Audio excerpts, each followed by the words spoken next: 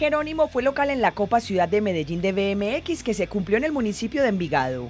Soy corredor de BMX, corro para el club de BMX Envigado y estoy muy contento de hacer este deporte.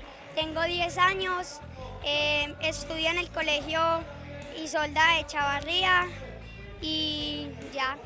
Los días de Jerónimo transcurren entre el colegio y la pista de BMX. Sí, yo rindo mucho en el colegio, eh, hago siempre todas mis tareas y acá cuando no hacemos las tareas nos ponen a veces mucho físico. Gracias a su talento sobre la bicicleta, Jerónimo fue uno de los deportistas más destacados de la Copa Ciudad de Medellín de BMX.